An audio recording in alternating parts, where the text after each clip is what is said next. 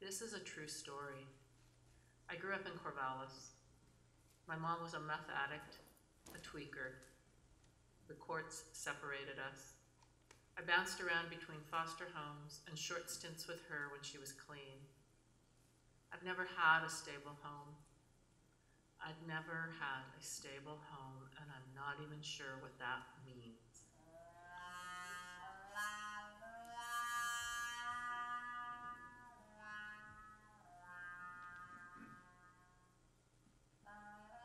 My foster parents grounded me when I was 17. I got so mad.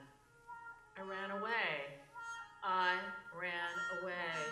I threw my phone in a dumpster. I moved into a tent in the woods under the Philomath Highway. That was where the drunks lived.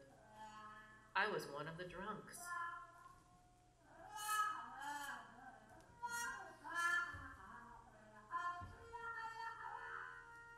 Eventually, I started using meth, like my mom. I moved across the river to the tweaker camp. Being alone at night was scary, so scary. I moved my tent from place to place so that no one could track me.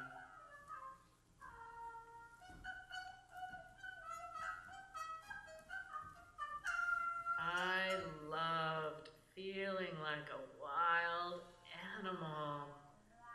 Everywhere was my home, and nowhere was my home. I hated being stinky and dirty. I dreamed, I dreamed of a clean house, a home, a bed to lie down in, a safe place to sleep.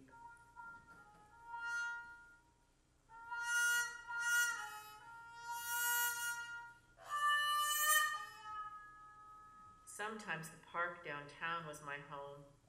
I'd fall asleep on the grass, and I'd wake up with a stranger's jacket over me.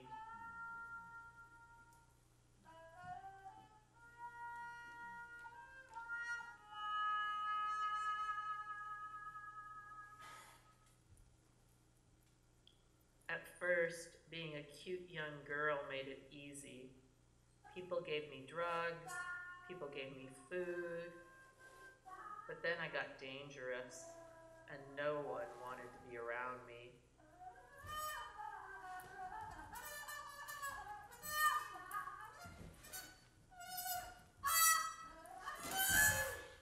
I dated for food and shelter. I'd sleep with you if I could sleep in your house and eat your food. I only slept with men for money a few times.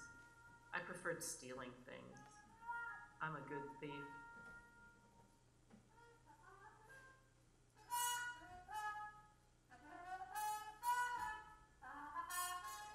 The summertime best. I'd hang out in the park or by the river. I'd bathe in the fountains, play a piano in the afternoon, and then pass out under the piano at night. The piano was my home, my sweet musical home.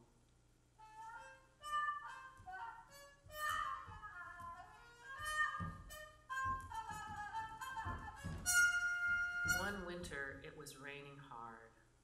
I was detoxing, trying to get clean. I was shaking and puking. I was a mess. Friend for a tent. They had one to give me, but it didn't have a door. I set it up in the woods, and I found a soaking wet couch cushion in the bushes.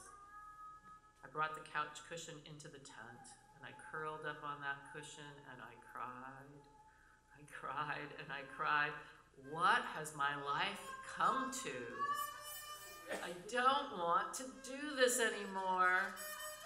I don't want to do this anymore. God, God, help me, please. God, help me. This is this is the way I am. This this is the way I will die. I didn't want to feel this pain anymore. So I got high and I vowed to stay high.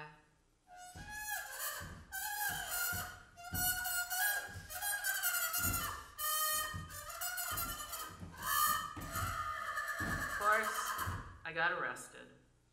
I was sent to drug court, and with their help, I got clean and I tried to make a life for myself. I was off the street for almost two years. I had an apartment and I had a roommate, but my roommate stole my rent money and disappeared. She left heroin behind. I couldn't pay my rent and I had heroin. You can guess what happened next. I'm a junkie.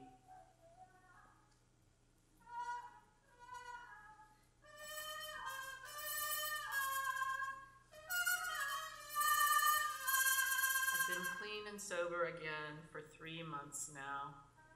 At first, George and I were living in a tent. Then he went into treatment, and I moved into COI, and then into an Oxford house, a clean and sober group home. I got kicked out of Oxford because I didn't manage my detox drugs well. Since then, I've been couch surfing, and now I have to move again. I'm used to being a transient, even when I'm sober. I've overcome harder things, but I'm hoping for a real home. I'm hoping, I'm hoping, I'm hoping.